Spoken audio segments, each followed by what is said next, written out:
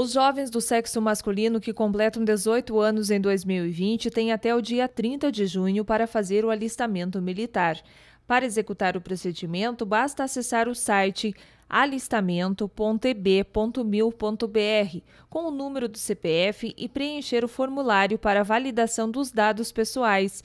Quem não tiver acesso à internet ou caso o jovem não tenha CPF, ele deve ir à junta de serviço militar do município ou a mais próxima de casa, levando em mãos a certidão de nascimento ou a carteira de identidade ou de motorista e o comprovante de residência.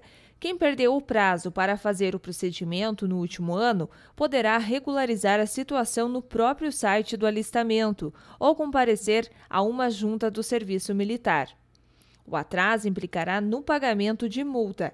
Quem não regularizar a situação não poderá tirar passaporte, prestar exame para estabelecimento de ensino, tirar carteira de trabalho, ingressar no serviço público ou na iniciativa privada.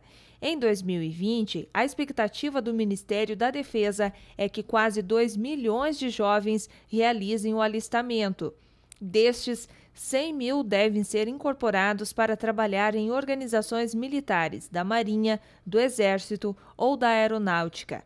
O serviço militar obrigatório tem a duração de um ano. Mais informações no site defesa.gov.br barra serviço militar.